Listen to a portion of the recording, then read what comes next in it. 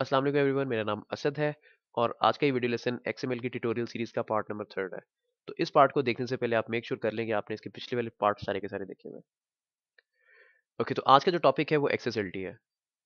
एक्सेसएलटी basically एक style sheet है जिसे एक्सएमएल के लिए इस्तेमाल किया जाता है।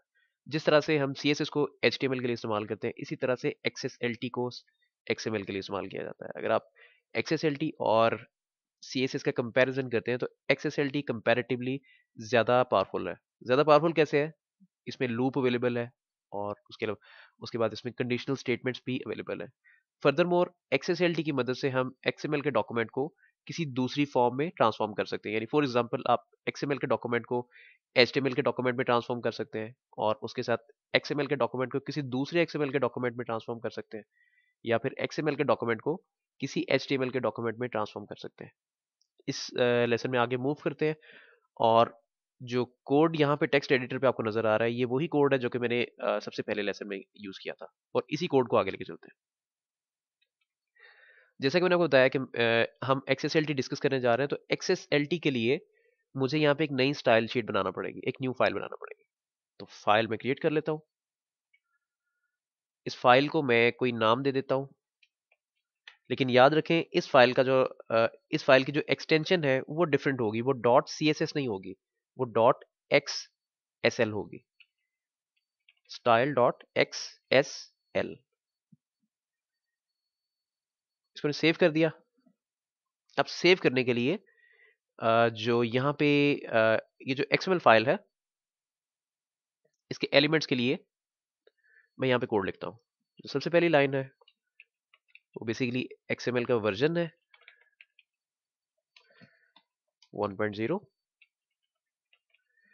encoding UTF 8 okay right no यहाँ पे अगर आप देखते हैं तो यहाँ पे आपको नेम स्पेसेस नज़र आ रही हैं। तो इस इस पार्ट को ज़्यादा सिंपल रखने के लिए मतलब ये जो मैं अभी इंट्रोडक्शन आपको करवा रहा हूँ, इसको ज़्यादा सिंपल रखने के लिए मैं नेम स्पेसिस को रिमूव कर देता हूँ। उसके बाद फिर मैं यही एग्जांपल नेम स्पेसिस के साथ करूँगा।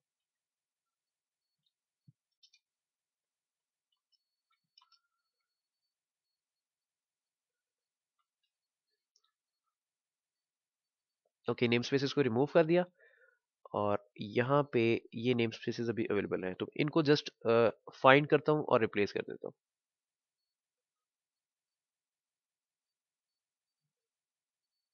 जो बी वाली आ रही हैं उनको भी रिप्लेस कर देता हूँ।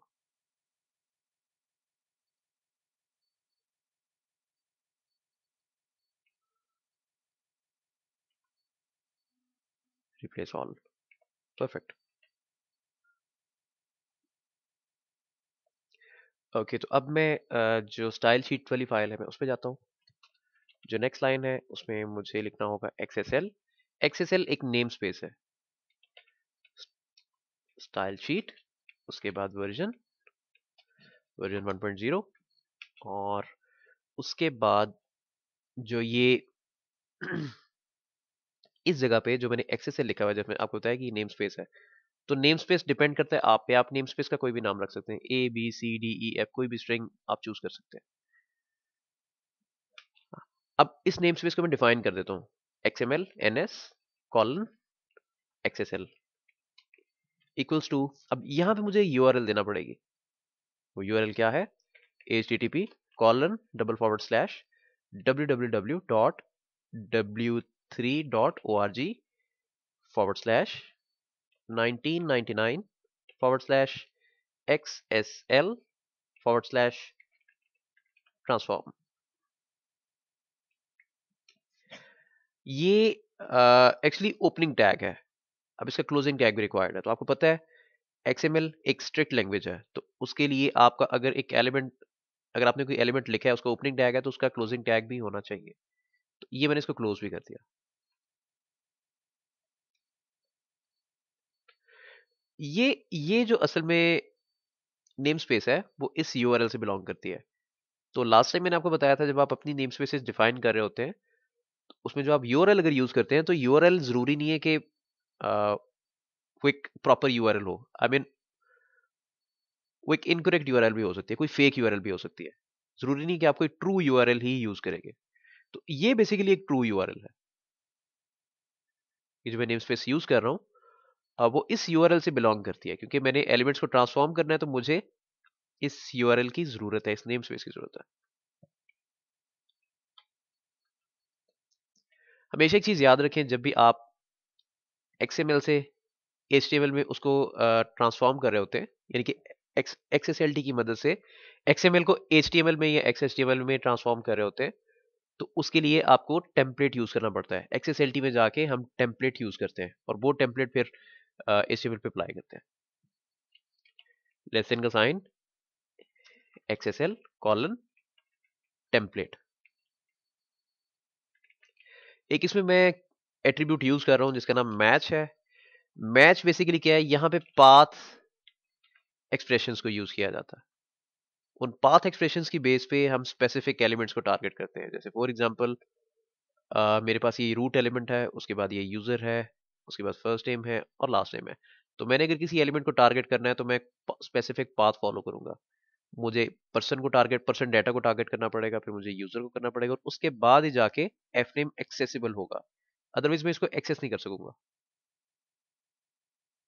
अभी पाथ एक्सप्रेशन की तरफ़ आते हैं तो। जो एक्सेस है वो एक्स पाथ यूज़ करता है, इस पर्पज के लिए। एक्स पाथ क्या है? एक्सएमएल पाथ लैंग्वेज और XML path language path expressions को यूज़ करती है एलिमेंट्स को ढूँढने के लिए। चलिए मैं फ़िलहाल इसको रिमूव कर देता हूँ। और जो ये ओपनिंग टैग है, इसका क्लोजिंग टैग लिख देता हूँ। स्टाइल शीट इसका क्लोजिंग टैग नहीं है, इसका क्लोजिंग टैग टेम्पलेट है।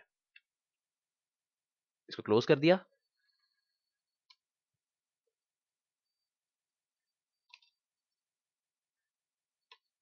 अब इसके अंदर आके यहाँ पे मैं एच लिखता हूँ।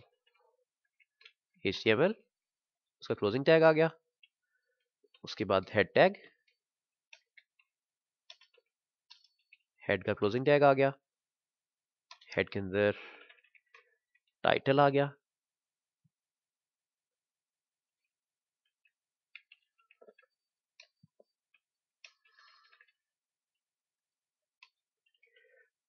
और यहाँ पे बॉडी आ गई।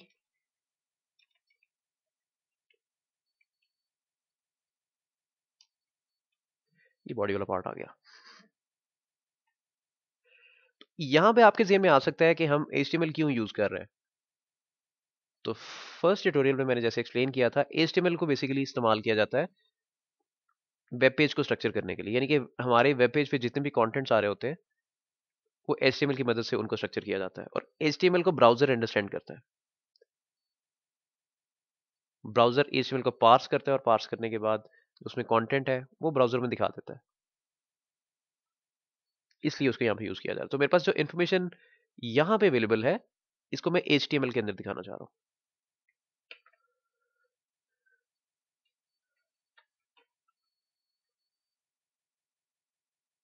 ओके okay, जो पाथ एक्सप्रेशन में यहाँ पे यूज़ कर रहा हूँ मैंने फॉरवर्ड स्लैश यूज़ किया इसका मतलब होता है root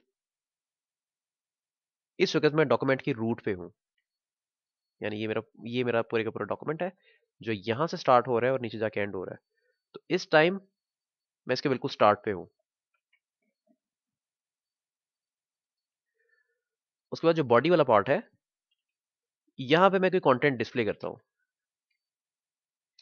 XSL value of select हमेशा एक चीज़ याद रखें, ये सेल्फ इनक्लोजिंग टैग है। जो इस तरह के टैग्स आते हैं, जो कि एक सिंगल टैग होता है एक्स टेबल के अंदर रहते हुए उनको भी क्लोज करना पड़ता है अदरवाइज़ एरर आता है। तो ये देखें एंड में मैंने स्पेस ऐड करने के बाद फॉरवर्ड स्लैश लगा दिया। तो अब ये टैग बिल्कुल वैलिड है। अगर एच टी में आप काम कर रहे होंगे या एच के किसी भी वर्जन में काम कर रहे होंगे तो उसमें एच इन चीज़ों का माइंड नहीं करता। लेकिन जो एक्स एच है, वो एक स्ट्रिक्ट वर्जन है एच का तो उसमें इन चीज़ों की टेक केयर करना पड़ती है। क्लोजिंग टैग मिस ना हो और आपके जो एलिमेंट्स हैं, वो केस सेंसिटिव भी होते हैं।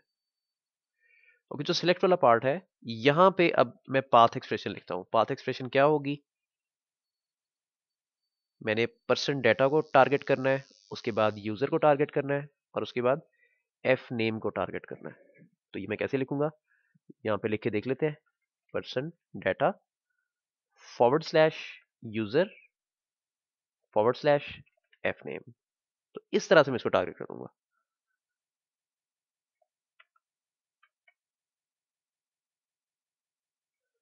मैंने यहाँ पे इसको पेस्ट कर दिया। पेस्ट करने के बाद जो इसका रिज़ल्ट है, उसको ब्राउज़र में देखते हैं। रिफ्रेश अभी तक यहाँ पे रिज़ल्ट नहीं आया। ऊपर जो मैसेज आ रहा है उसको रीड करते हैं, वो क्या है? This XML file does not appear to have any style style information associated with it अब यहाँ पे इशू आ रहा है। इशू ये आ रहा है कि जो स्टाइल शीट है, उसको मैं रेफरेंस कराना भूल गया हूँ। उसका रेफरेंस इस डॉक्यूमेंट में इंक्लूड करना भूल गया पैनिक होने की ज़रूरत नहीं है, कोई भी एरर मैसेज आता है, उसको अच्छे तरीके से रीड करें, उसको अंडरस्टैंड करने की कोशिश करें। तो मोस्टली जो एरर मैसेजेस होते हैं, उनके अंदर ही एक्सप्लेन किया हुआ होता है, ये एरर किस वजह से आया है। तो एरर्स को अंडरस्टैंड करना काफ़ी इंपॉर्टेंट है। ये देखिए, मैं एक्सएमएल पे आ गया, लेकिन यहाँ पे मुझे कोई ऐसी लाइन नहीं नज़र आ रही जिसमें मुझे नज़र आ रहा हो कि जो मैंने स्टाइल शीट बनाई एक्सेस उसको मैंने यहाँ पे इंक्लूड करवाया हुआ अब मैं उसको इंक्लूड करवा लेता हूँ। लेसन का sign question mark XML style sheet type text forward slash XSL क्योंकि वो एक्सएसएल फ़ाइल है। एक्सटेंसिबल एक्सटेंसिबल हाँ मुझसे ये वर्ड प्रॉपर बोला नहीं जाता। Extensible style sheet language yes अब बोला गया। एक्सएसएल स्टैंड करता है एक्सटेंसिबल स्टाइल शीट लैंग्वेज और यहाँ पे मुझे उसकी यूआरएल भी देना पड़ेगी। उसका रेफरेंस इंक्लूड करवाना होगा तो उसके लिए मुझे फ़ाइल का नाम लिखना पड़ेगा स्टाइल डॉट एक्स मैंने सक्सेसफुली जो स्टाइल शीट थी, उसको यहाँ पे रेफरेंस करवा दिया। अब अगर मैं पेज रिफ्रेश करता हूँ तो ये देखें, मैंने असद को सक्सेसफुली टारगेट कर दिया। मैंने फ़र्स्ट नेम प्रिंट करवा दिया। तो इसी तरह से अगर मैं लास्ट नेम प्रिंट करवाना चाहता हूँ तो उसके लिए मैं इसको एल नेम कर दूँगा। एल नेम क्यों करूँगा? क्योंकि जो लास्ट नेम है, उस एलिमेंट का नाम एल नेम है। ब्राउज़र में देखते हैं, अगर मैं रिफ्रेश करता हूँ तो ये देखिए, लास्ट टाइम आ गया। तो देखिए, कितना ईजी है इजीली मैंने जो स्पेसिफिक एलिमेंट्स उनको टारगेट किया और डिस्प्ले करवा दिया। Okay, next step.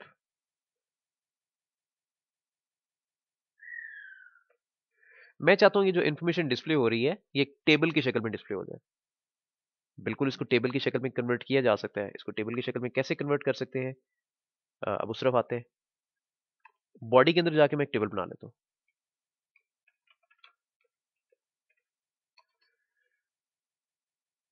एक टेबल आ गया। टेबल की फ़र्स्ट रॉ आ गई। टेबल की जो फ़र्स्ट रॉ है, उसमें तीन कॉलम्स आ जाएँगे। तीन कॉलम्स कौन कौन से सबसे पहला कॉलम है, वो आईडी है। उसके बाद जो सेकंड कॉलम है, वो फ़र्स्ट नेम है, फिर लास्ट नेम है, फिर ईमेल एड्रेस है। यानी इसमें चार कॉलम रिक्वायर्ड होंगे। टेबल हेड टाइप नहीं कर पा रहा हूँ। इसको मैं थ्री मोर टाइम्स पेस्ट कर देता हूँ।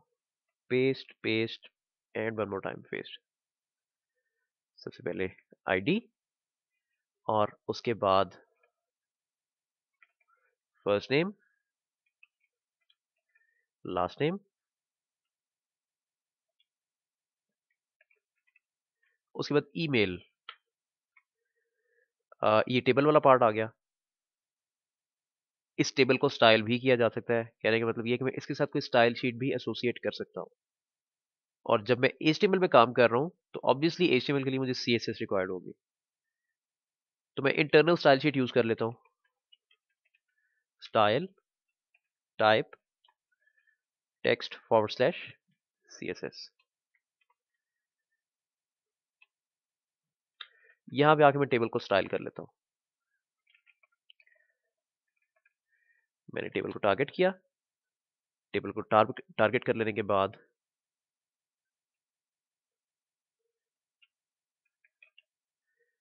इसकी जो विथ है, उसको 800 पिक्सल्स कर दिया। बॉर्डर सॉलिड वन पिक्सल और उसके बाद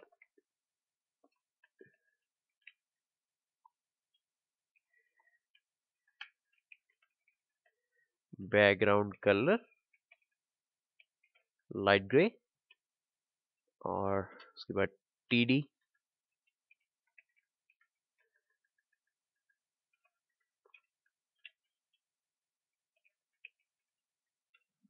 लाइट ग्रे और वन पिक्सल।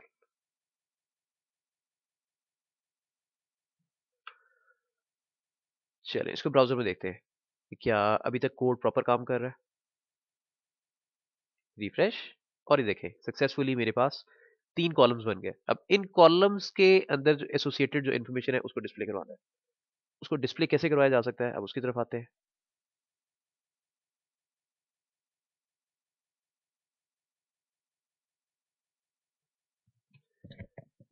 यहाँ पे एक और मैं टेबल रो क्रिएट कर लेता हूँ, और टेबल रो क्रिएट करने के बाद मुझे इसमें कुछ दूसरे कॉलम्स रिक्वायर्ड होंगे जिनमें डेटा आ रहा होगा। सबसे पहला कॉलम तो ये आ गया, इसको कॉपी करके तीन दफ़ा पेस्ट कर लेता हूँ। Paste paste and paste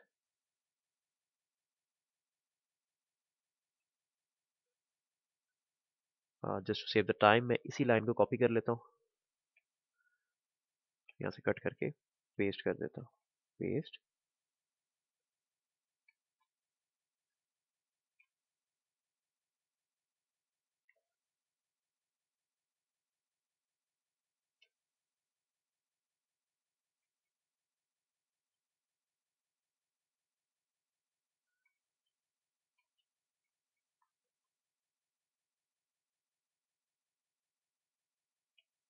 इसको क्लोज कर दिया। और टी डी इसके आगे आ गया। परफेक्ट हो गया। मैं इसी को कॉपी करके तीन दफ़ा पेस्ट कर देता हूँ। पेस्ट पेस्ट और एक दफ़ा फिर पेस्ट यहाँ पे सबसे पहले अगर मैं इस पार्ट पे आता हूँ, सबसे पहले मैंने आईडी को डिस्प्ले करवाना है। तो आईडी को डिस्प्ले कैसे करवाया जा सकता है? उसका सिंटेक्स थोड़ा सा डिफरेंट है। उसका सिंटेक्स क्या है?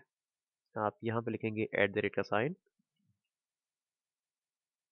उसके बाद आईडी एट द रेट का साइन और आपके एट्रीब्यूट का नाम आएगा। एट्रीब्यूट का नाम क्या है? आईडी और उसके बाद यहाँ पे फ़र्स्ट नेम आ जाएगा एफ़ नेम नेक्स्ट लाइन पे लास्ट नेम और सबसे लास्ट लाइन में ईमेल आ जाएगा। ईमेल चलिए इसको ब्राउज़र में देखते हैं। रिफ्रेश ये देखिए सक्सेसफुली इंफॉर्मेशन यहाँ पे आ गई। जो ईमेल वाला पार्ट है, वो प्रॉपरली डिस्प्ले नहीं हो रहा। उसको देख लेते हैं, उसमें मैंने क्या मिस्टेक की है। मैंने मेल लिख दिया। ईमेल आएगा यहाँ पे। ईमेल रिफ्रेश और ये देखें सक्सेसफुली ईमेल भी आ गया। और एक इंटरेस्टिंग चीज़ ये है, यहाँ पे अगर मैं राइट क्लिक करता हूँ, और मैं पेज सोर्स को व्यू करता हूँ तो मुझे यहाँ पे एक्सएमएल फ़ाइल नज़र आ रही है। मुझे यहाँ पे एच नज़र नहीं आ रही है, लेकिन जो डॉक्यूमेंट है, वो एच में ट्रांसफॉर्म हो चुका है। इसमें जो मैंने पाथ एक्सप्रेशंस को यूज़ किया है, अगर आप उसमें कंफ्यूज हैं और अगर आपको उससे रिलेटेड कोई हेल्प चाहिए, अगर मैं अवेलेबल नहीं होता तो मैं आपको सजेस्ट करूँगा कि डब्ल्यू थ्री स्कूल को विज़िट करें। इसमें जो ट्यूटोरियल है, मैं आपको डायरेक्टली उस पर ले चलता हूँ। एक्सपाथ ये देखिए XPath XPath intro XPath intro पे मैं जैसे ही क्लिक करता हूँ बल्कि मुझे सिंटेक्स पे जाना पड़ेगा। एक्सपाथ के सिंटेक्स पे मैंने जैसे ही क्लिक किया तो यहाँ पे देखें कुछ एक्सप्रेशन मुझे नज़र आ रही है। सबसे पहली एक्सप्रेशन है, वो नॉड नेम है। नॉड किसको कहते हैं? नॉड एक एलिमेंट को कहते हैं। जैसे फॉर एग्जांपल यहाँ पे परसेंट डाटा है, ये एक नॉड है। आईडी ये एक एट्रीब्यूट है, इसको भी नॉड कहा जा सकता है। यूज़र भी एक नॉड है।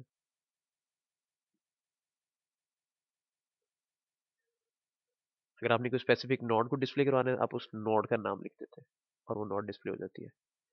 उसके बाद जो फॉरवर्ड स्लैश है, इसका मतलब होता है select from the root node double forward slash का मतलब होता है select nodes in the document from the current node that match the selection number no matter where they are अगर आप डबल फॉरवर्ड स्लैश लगाते हैं और उसके बाद किसी नोड का नाम लिख देते हैं तो ये मैटर नहीं करता कि वो नोड्स कहाँ पे पड़ी हुई है उस डॉक्यूमेंट पे। वो सारी की सारी नोड्स मैच हो जाएँगे रिज़ल्ट में आ जाएगी। उसके बाद ये पीरियड का साइन है, यानी कि डॉट ऑपरेटर इसका मतलब होता है सिलेक्ट द करंट नोड उसके बाद अगर आप डबल डॉट की बात करते हैं डबल पीरियड के साइन की बात करते हैं फुल स्टॉप की बात करते हैं तो इसका मतलब होता है select the parent of the current node तो आप अगर सी एस एस यूज़ करते हैं तो आपको उसमें आइडिया होगा, अगर आप एक करंट डायरेक्टरी में हैं, अगर आप डबल डॉट यूज़ कर लेते हैं, उसका मतलब होता है प्रीवियस डायरेक्टरी जिस डायरेक्टरी में अभी आप अवेलेबल हैं, आप उससे पिछली डायरेक्टरी की बात कर तो वो सेम रूल यहाँ पे अप्लाई होता है। यहाँ पे चाइल्ड और पेरेंट की बात हो रही है। पेरेंट कंटेनर होता है। चाइल्ड उस कंटेनर के अंदर आ रहा होता है। सेम रूल वही है। एट्रीब्यूट को मैंने सेलेक्ट किया था एट द रेट का साइन लगा के। और उन्होंने नीचे कुछ फर्दर एग्जांपल्स की हुई है देखें। ओके okay, इतना काम तो कर लिया।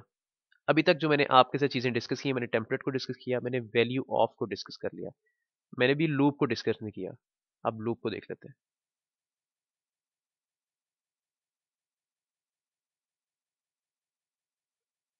हैं। लूप की तरफ़ आते हैं। तो लूप की तरफ़ आके ये सारे का सारा कोड मैं रिमूव कर देता हूँ।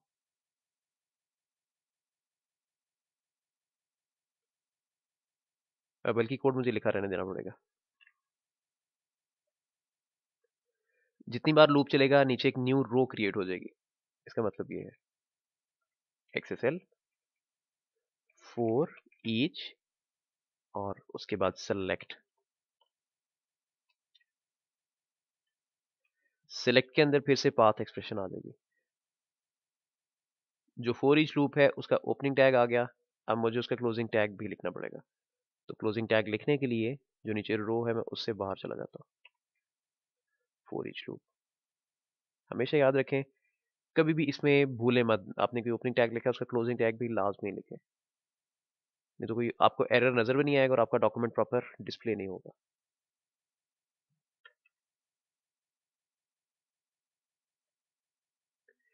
ओके तो यहाँ पे अब मैं बेसिकली ये वाला जो यूआरएल का पार्ट है, इसको निकाल लेता हूँ। और यहाँ पे लिख देता हूँ। यूज़र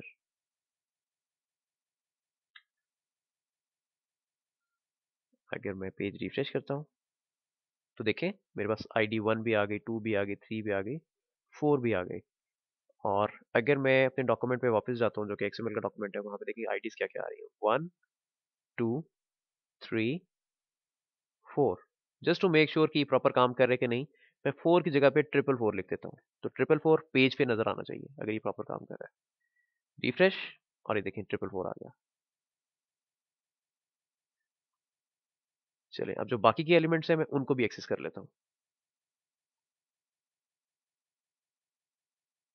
ये पूरी, पूरे का पूरा पाथ रिमूव हो जाएगा, पूरा पाथ इसलिए रिमूव हो जाएगा, क्योंकि ये वाला जो पाथ है,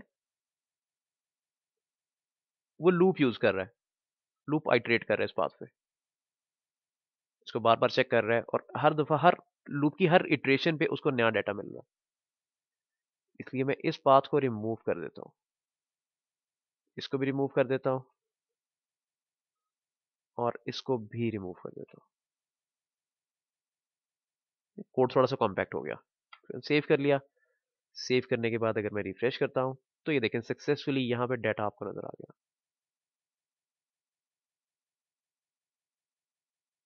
चलिए अब वापस आते हैं। वापस आ जाने के बाद अगर मैं डब्ल्यू थ्री स्कूल की वेबसाइट पे जाता हूँ तो वहाँ पे कुछ चीज़ें और भी अवेलेबल है। वैल्यू ऑफ़ फोर ईच को भी देख लिया। फोर इसके बाद सॉर्ट आप अपने रिकॉर्ड्स को सॉर्ट भी कर सकते हैं।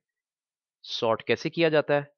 ये उसका सिंटेक्स है। X S L sort select किस कॉलम की बेस पे, यानी किस वैल्यू की बेस पे आप उसको, इसको वैल्यू नहीं कहेंगे, इसको कॉलम कह लें आप। किस कॉलम की बेस पे आप अपना डाटा सॉर्ट करना चाह रहे हैं? वापस आते हैं। मेरे पास एक कॉलम आ रहा है आईडी के नाम से, एक आ रहा है फ़र्स्ट नेम के नाम से, एक आ रहा है लास्ट नेम के नाम से और एक ईमेल के नाम से। तो मेरे पास कंट्रोल अवेलेबल है, इनमें से मैं किसी भी एक कॉलम को चूज़ कर लूँ और उसकी बेस पे अपना डाटा सॉर्ट कर लूँ, या असेंडिंग ऑर्डर में सॉर्ट कर लूँ, या डिसेंडिंग ऑर्डर में सॉर्ट कर लूँ।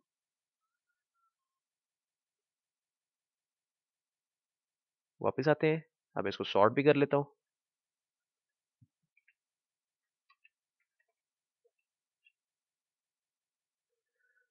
सॉर्ट यस मुझे यहाँ पे सिलेक्ट करना पड़ेगा। Select यहाँ पे मैं आईडी लिख देता हूँ। यहाँ पे नोट करें, जो शॉर्ट वाला टैग है, ये एक ये खुद से ओपनिंग टैग और खुद ही से क्लोजिंग टैग है। इसे सेल्फ इनक्लोजिंग टैग कहते हैं। यानी ये लूप की तरह नहीं है कि ओपनिंग टैग ऊपर आ रहा है और क्लोजिंग टैग नीचे आ रहा है। ये एक ही लाइन में लिखा जाता है।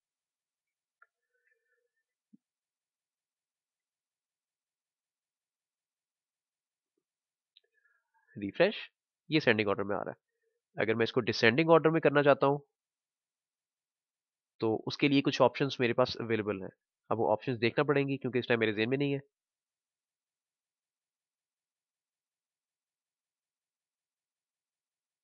uh, मुझे एक्स पाथ के ट्यूटोरियल पे जाना पड़ेगा। सिंटैक्स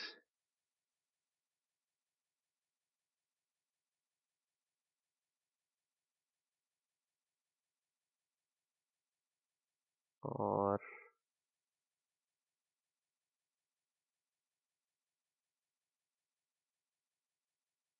मुझे यहाँ पे कोई ऑप्शन नज़र नहीं आ रही।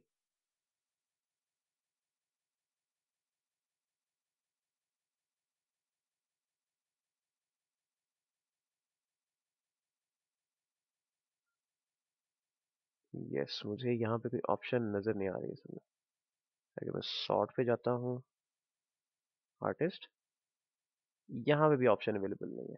चलें, इसको गूगल कर लेते हैं।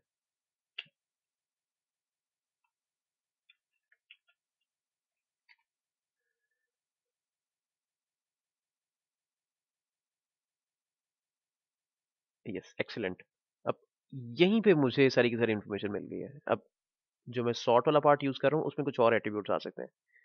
सेलेक्ट एक्सप्रेशन एक्सप्रेशन में ऑलरेडी यूज़ कर रहा हूँ। उसमें लैंग्वेज का कोड भी आ सकता है, उसमें डाटा की टाइप भी आ सकती है, उसके बाद डाटा का ऑर्डर भी आप चेंज कर सकते हैं असेंडिंग भी कर सकते हैं डिसेंडिंग भी कर सकते हैं। तो जो ऑर्डर वाला पार्ट है, अब मैं वो वाला एट्रीब्यूट यूज़ कर लेता हूँ। वापस आते हैं। यहाँ पे मैं लिखता हूँ ऑर्डर जो ऑलरेडी डाटा डिस्प्ले हो रहा है हमारे पास, वो असेंडिंग ऑर्डर में हो रहा है तो मैं इसको डिसेंडिंग ऑर्डर में करता हूँ। D S C E N D I N descending अगर इसको मैं ब्राउज़र में डिस्प्ले करवाता हूँ तो 44 ऊपर आ जाएगा, ये देखिए 44 आ गया, उसके बाद 3 आया, फिर 2 आया, फिर 1 आया। और अगली रोज भी उसके इस डाटा के अकॉर्डिंगली सॉर्ट हो गई है। अगर आप कहते हैं मैंने आईडी को सॉर्ट नहीं करना, मैंने फ़र्स्ट नेम को सॉर्ट करना है तो फ़र्स्ट नेम को भी सॉर्ट किया जा सकता है, बहुत आसान है। उसके लिए जो ये सिलेक्ट वाला पार्ट है मुझे यहाँ पे फ़र्स्ट नेम लिखना पड़ेगा यानी कि एफ़ नेम अब ये एफ़ नेम की बेस पे ऑर्डर करेगा सॉर्ट कर देगा. रिफ्रेश ये देखें सबसे पहले नीचे ए वाला नाम आ गया उससे ऊपर भी ए वाला नाम फिर उससे ऊपर जे वाला नाम उसके ऊपर आर वाला नाम. तो इस, इसने इसको डिक्शनरी ऑर्डर में सॉर्ट कर दिया ऑटोमेटिकली सॉर्टिंग इसमें इस तरह से काम करती है. सॉर्टिंग के बाद हमारे पास कुछ कंडीशनल uh, कंट्रोल भी अवेलेबल है जैसे ये इफ़ है। जो इफ़ वाला केस है अगर आप इसको चेक करते हैं तो इसमें आप कोई स्पेसिफिक डाटा डिस्प्ले करवा सकते हैं। इसमें जो कंडीशन लिखी जाती है वो कुछ इस तरह से लिखी जा सकती है। Price M percent G T G T का मतलब क्या होता है? जो ये पूरे का पूरा पार्ट है ये H T M L entity है। ये ग्रेटर इसका मतलब होता है ग्रेटर देन का साइन। और ये जो पूरी की पूरी लाइन लिखी हुई है जो ये इतना पार्ट जो एक्सप्रेशन लिखी हुई है इसका मतलब है प्राइस ग्रेटर देन टेन इसका ये मतलब है। तो मेरे पास जो यहाँ पे एक्सएमएल आ रही है इसमें कोई भी नुमेरिक डाटा नहीं आ रहा। तो मैं चाहूँगा कि मैं एक्सएमएल फ़ाइल कोई दूसरी यू, यूज़ कर लूँ उसके लिए। क्योंकि अगर मैं टाइप करूँगा तो उसमें टाइम अच्छा खासा लगेगा। तो मैं यहाँ से, इनकी जो अपनी वेबसाइट है, मैं यहीं से डाटा उठा लेता हूँ।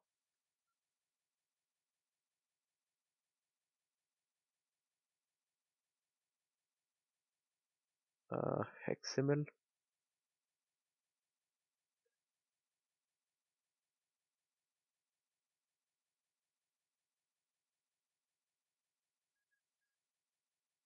ट्री यहाँ पे फ़ाइल थी, उसका साइज़ काफ़ी बड़ा था। मैं चाह रहा हूँ कि मैं बड़े साइज़ की फ़ाइल यूज़ करूँ।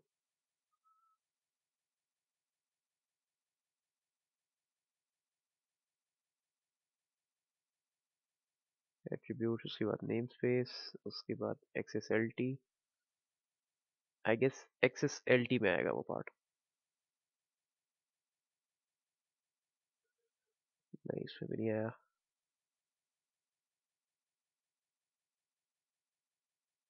चलें ये यूज़ कर लेते हैं।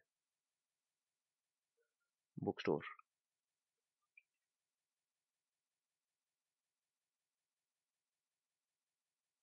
ऊपर वाला पार्ट वैसे का वैसे ही रहेगा, मैं इसको जस्ट यहाँ पे पेस्ट कर देता हूँ।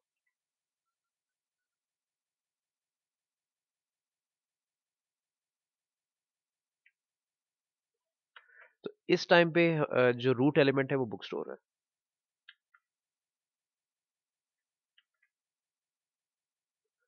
ओके, अब इसके एलिमेंट्स को टारगेट करते हैं। तो सबसे बाहर बुक स्टोर आ रहा है। बुक स्टोर के बाद अंदर बुक आ रहा है और उसके बाद फिर टाइटल है, ऑथर है, ईयर है, प्राइस है और बुक है। तो देखता हूँ अगर इससे रिलेटेड यहाँ पे एक्सेसल्टी भी आ रही है।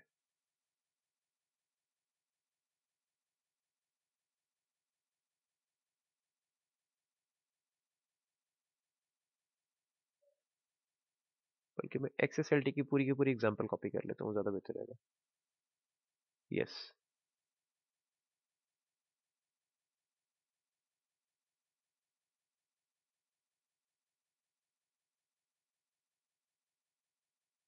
एक्सेसलिटी की मैं पूरी की पूरी एग्ज़ाम्पल कॉपी कर लेता हूँ।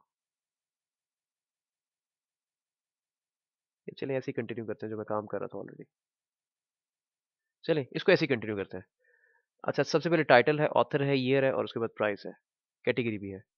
कैटेगरी टाइटल ऑथर ईयर और price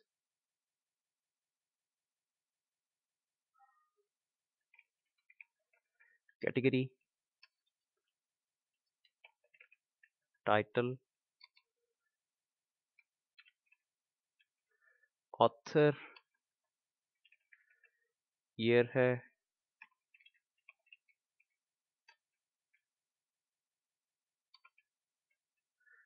और उसके बाद प्राइस है।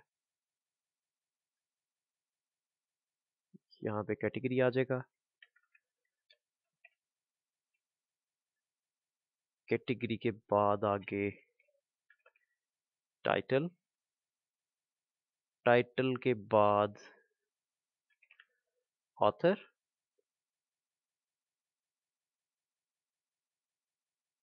ऑथर के बाद ईयर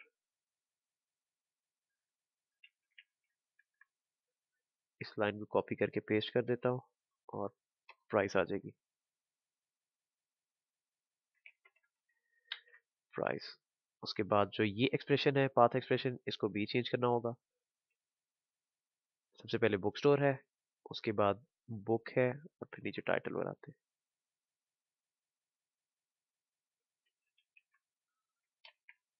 बुक स्टोर उसके आगे बुक इसको भी चेंज करना पड़ेगा। तो यहाँ पे मैं कुछ भी लिख सकता हूँ, यानी फॉर एग्जांपल मैं यहाँ पे कैटेगरी लिख देता हूँ। कैटेगरी की बेस पे मैं सॉर्ट कर रहा हूँ। ऑर्डर असेंडिंग कर देता हूँ, डिसेंडिंग नहीं असेंडिंग।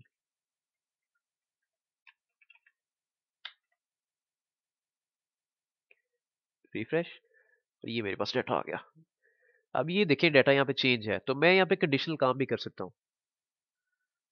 फॉर एग्ज़ाम्पल मैं चाहता हूँ कि मेरे पास जो प्राइसेस लेस देन थर्टी आ रही है, मैं जस्ट वही डिस्प्ले करवाऊँ तो मैं कैसे करवा सकता हूँ? अब कंडीशनल काम कर लेते हैं। कंडीशनल काम के लिए यहाँ पे मैं ओपनिंग टैग लिखता हूँ XSL if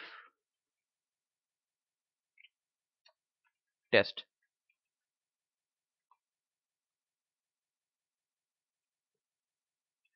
price at the rate LT L stands for less, T stands for then 30 इसका मतलब ये है कि अगर प्राइस लेस देन 30 है तो उसको डिस्प्ले करवा दो।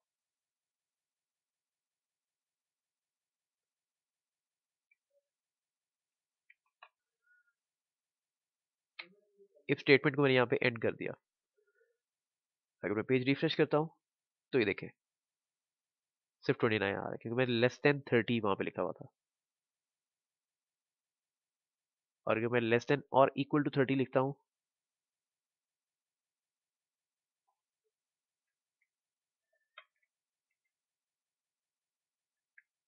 तो फिर देखिए थर्टी भी आ गया। यहाँ पे सिंटेक्स थोड़ा सा आपको मतलब लग सकता है। सिंटेक्स तो देखिए आप थोड़ा सा घबरा सकते हैं, लेकिन घबराने की ज़रूरत नहीं है। आप जैसे जैसे प्रैक्टिस करेंगे, आपको आइडिया हो जाएगा। ये पार्ट अगर मैं रिमूव करता हूँ तो इसका मतलब है ये वाला साइन लेकिन डायरेक्टली ये वाला साइन में यहाँ पे लिख नहीं सकता प्रॉब्लम आएगी। तो मैंने उसकी जगह पे एच की एंटिटी यूज़ कर ली है। इसका मतलब है लेस देन और इक्वल टू थर्टी रिफ्रेश और ये डाटा आपके सामने आ गया। अब ये जो मैंने इफ़ वाली कंडीशन लगाई थी, मेरे पास इसका एल्स वाला पार्ट नहीं है। तो अगर आप चाहते हैं कि आप इफ़ और एल्स ये दोनों पार्ट्स को यूज़ कर, करें तो वो कंट्रोल भी अवेलेबल है। उसका नाम है चूज़ हमें चूज़ करना पड़ता है असल में।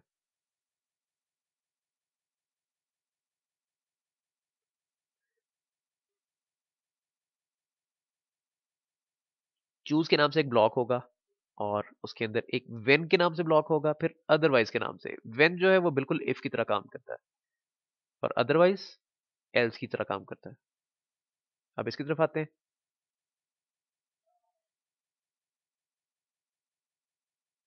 मैं इस लाइन को, इस लाइन से ऊपर आता हूँ। यहाँ पर लिखता हूँ एक्सएसएल चूज़ चूज़ का ओपनिंग टैग आ गया। एज इट इज़ जैसे यहाँ पे लिखा हुआ है।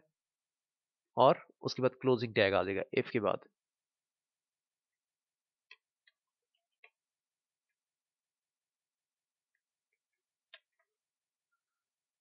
और चूज़ के बाद जो ये इफ़ स्टेटमेंट वाला पार्ट है, मैं इसको चेंज कर रहा हूँ। वेन ये देखिए, यहाँ पे लिखा हुआ वेन एक्सप्रेशन को टेस्ट किया जा रहा है। तो ये सेम एक्सप्रेशन मैं यूज़ कर रहा हूँ, जो मैंने पहले यूज़ की थी।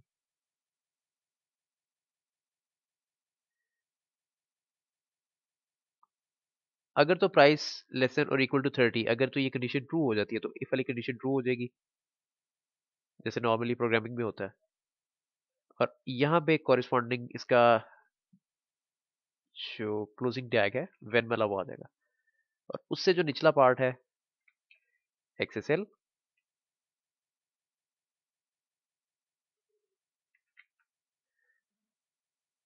अदरवाइज़ आएगा। अदरवाइज़ ये अदरवाइज़ वाला पार्ट आ गया।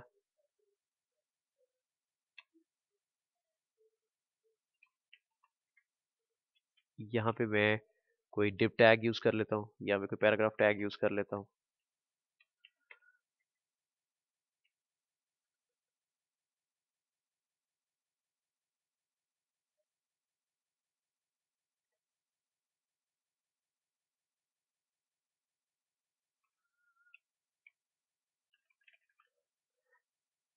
No data matched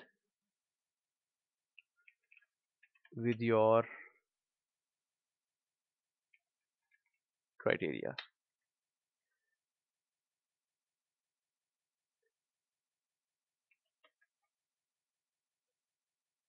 अगर मैं वापस आता हूँ, इसको रिफ्रेश करता हूँ। तो no data match with your criteria अब देखिए, यहाँ पे प्रॉब्लम आ रही है। प्रॉब्लम कैसे आ रही है? मैं लूप यूज़ कर रहा हूँ। जब लूप चला तो जो सबसे पहला वाला रिकॉर्ड था, वो मैच नहीं किया। जो दूसरा रिकॉर्ड था, वो भी मैच नहीं किया। और अगर मैं आता हूँ इस जगह पे तो यहाँ पे देखते हैं हमारे पास इन्फॉर्मेशन कितनी आ रही है। असल में चार जगहों पे इन्फॉर्मेशन आ रही है। एक ये है, एक ये है, उसके बाद एक ये है, और उसके बाद एक ये इन्फॉर्मेशन आ रही है। तो जो सबसे ऊपर इन्फॉर्मेशन आ रही है, वो थर्टी है, जो उसके बाद आ रही है, वो ट्वेंटी नाइन है ट्वेंटी नाइन नाइनटी नाइन और उसके बाद फिर जो दो इन्फॉर्मेशन है थर्टी नाइन और फोर्टी नाइन जब वो मैच नहीं किए हैं तो जो इफ़ स्टेटमेंट थी, इसमें जो वेन वाला पार्ट था, जो ये वेन वाला पार्ट था, वो फॉल्स हो गया। वो फॉल्स किस किस नंबर के लिए हुआ, जो कि वैल्यूज़ ग्रेटर देन थर्टी थी, उनकी वजह से ये मैसेज डिस्प्ले हो गया। तो अभी आप देख सकते हैं इजीली हम लोग इफ़ एल्स वाला भी काम एक्सेसएलटी की मदद से कर सकते हैं। तो इसलिए मैंने कहा था कि एक्सेसएलटी ज़्यादा पावरफुल है। कंपेरेटिवली अगर इसको आप सीएसएस के साथ कंपेयर करते हैं तो कंपेरेटिवली ज़्यादा पावरफुल है। क्योंकि ऐसा कंट्रोल हमारे पास सीएसएस में नहीं होता। अब मैं इस सारे के सारे पार्ट को रिमूव कर देता हूँ।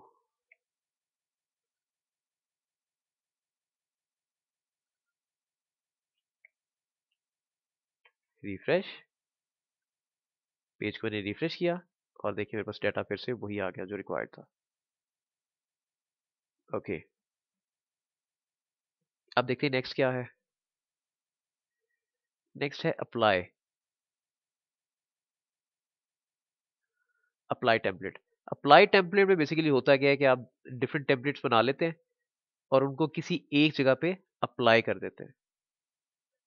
अप्लाई कैसे किया जाता है, उनको सबसे पहले अंडरस्टैंड कर लेते हैं।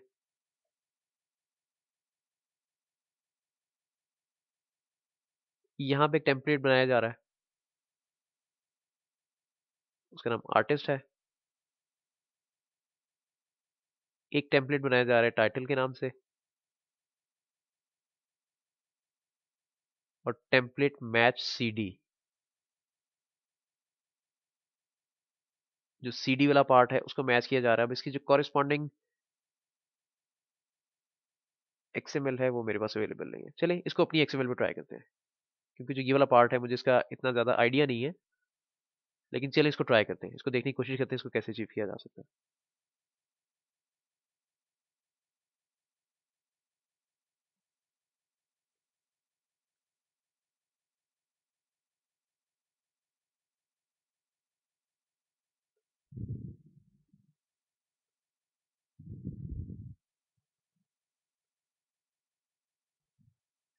इसको मैं ये लूप वाला पार्ट भी हटा देता हूँ।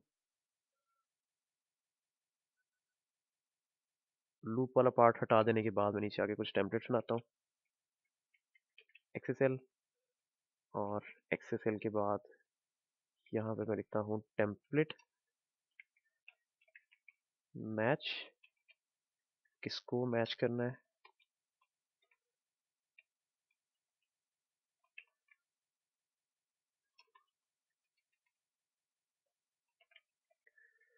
टेम्पलेट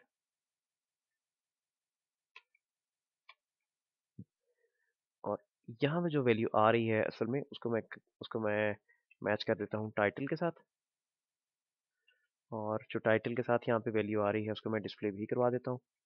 उसको मैं पैराग्राफ में लिख देता हूँ फॉर एग्जांपल और पैराग्राफ में लिखने के बाद अब उसको डिस्प्ले भी करवाना है। डिस्प्ले कैसे करूँगा एक्सएसएल वैल्यू ऑफ़ उसके बाद सेलेक्ट तो मैं करंट वैल्यू को सिलेक्ट करना चाह रहा हूँ। यानी कि जो यहाँ पे मैंने कॉलम सेलेक्ट किया हुआ मैं उसी को सिलेक्ट करना चाह रहा हूँ, उसकी वैल्यू को सिलेक्ट करना चाह रहा हूँ। तो मैं यहाँ पे डॉट ऑपरेटर लिख दूँगा, यानी फुल स्टॉप लिख दूँगा। इसकी वजह से मेरे पास इस टाइटल की वैल्यू आ जाएगी। कॉपी करके इसको पेस्ट कर लेता हूँ।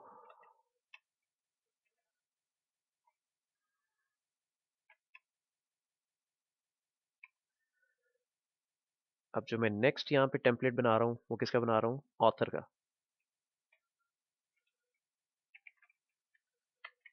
ऑथर का, यहाँ पे ऑथर की वैल्यू आ जाएगी।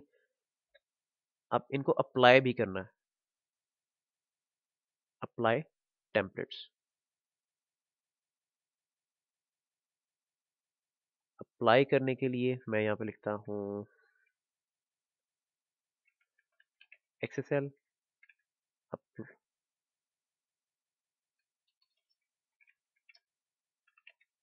Template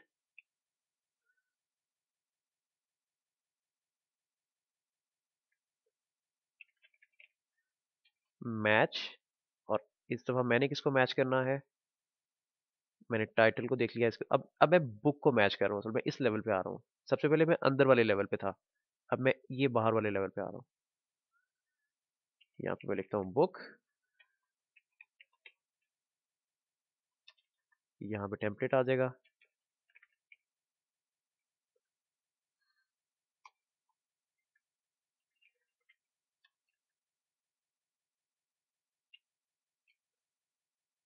XSL apply templates apply templates मैं सेलेक्ट कर लूँगा टेम्पलेट कौन सा टेम्पलेट में सेलेक्ट कर रहा हूँ? टाइटल के नाम से। टाइटल और जो मैंने दूसरा बनाया था वो मैंने ऑथर के नाम से बनाया था। इसको भी कॉपी कर लेता हूँ। पेस्ट ऑथर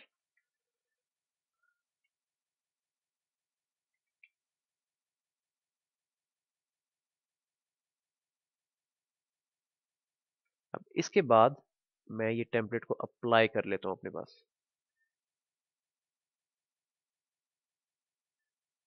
अच्छा ये एच वाला पार्ट है।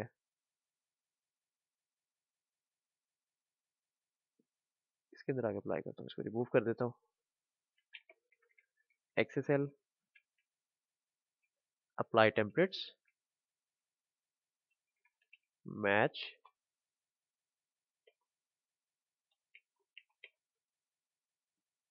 apply templates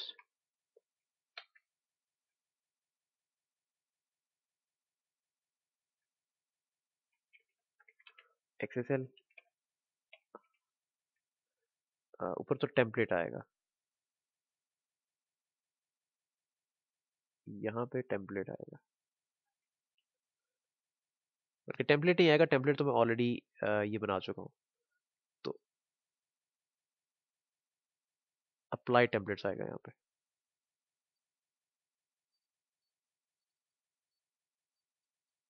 यानी इस लाइन की ज़रूरत नहीं है, इसको मुझे रिमूव करना पड़ेगा। इसको भी रिमूव इसको भी रिमूव अप्लाई टेम्पलेट्स